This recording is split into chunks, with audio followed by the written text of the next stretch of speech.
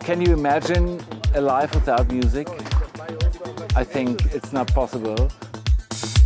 When I heard first Garden of Dreams, this sounds really promising because everything is possible, you know. We all love to dream and I really love this. It's kind of a brutalism and nature and it's perfect. I love it. It's so excited. Super, super good location. The people is so, so, so good.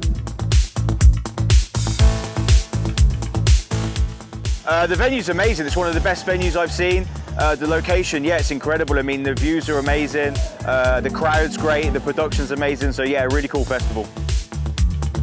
This moment, you know, like when you start playing, you have like five minutes to connect and to understand what the people are looking for.